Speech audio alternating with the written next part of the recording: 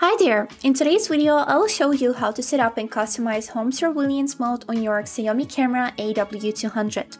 Let's get started. So as a first step, we would need to open our application which is named Mi Smart Home.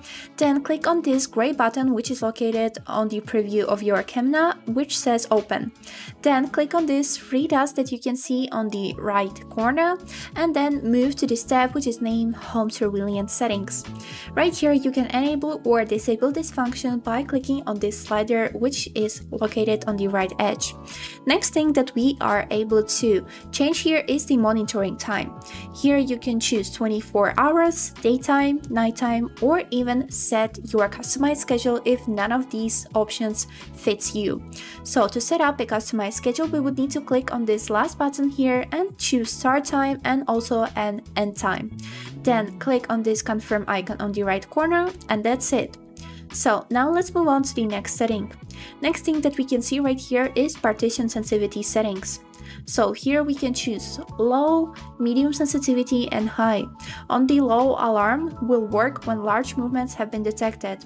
On the medium one, detects motion from people or objects, extremely sensitive, and the high one detects motion from people or objects, not a single movement will be missed. So I will set up the high one and now let's move on. Next thing that we got right here is alarm interval, which says set longer intervals between the alarms to reduce interference. Here we can choose time from 3 minutes to 30 minutes. I will leave it on 10 minutes because this is the gold middle.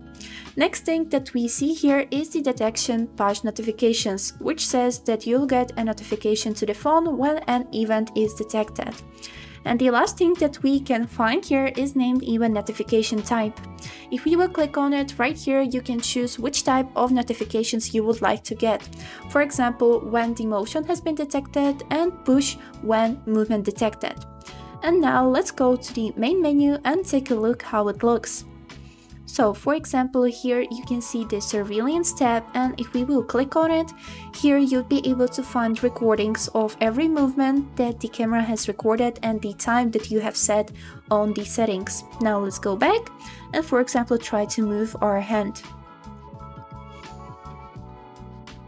So as you can see, nothing happens, so I guess the camera will react to movements that are much bigger than only moving my hand. So that's it for today. I hope this video was helpful for you and thank you so much for watching.